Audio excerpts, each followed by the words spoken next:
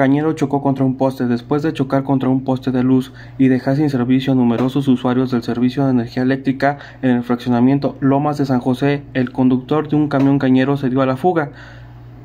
Los hechos sucedieron en la mañana del jueves en la calle Santa Patricia entre San Mauricio y Santa Claudia, del mencionado sector.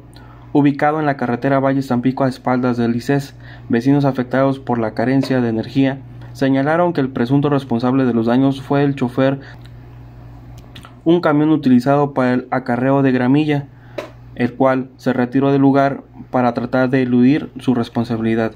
Debido al fuerte impacto, el sostén de los cables eléctricos quedó ladeado, dejando sin servicio a todo el sector. Las personas afectadas por esta situación solicitaron la intervención de las autoridades. Ignacio Barrientos para el Mañana Multimedios.